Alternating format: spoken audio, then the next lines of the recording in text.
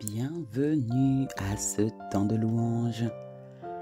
Inspiré aujourd'hui en Ecclésiaste chapitre 7 verset 14.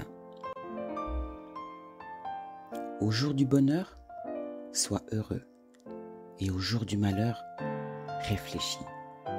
Dieu a fait l'un comme l'autre afin que l'homme ne découvre en rien ce qui sera après lui.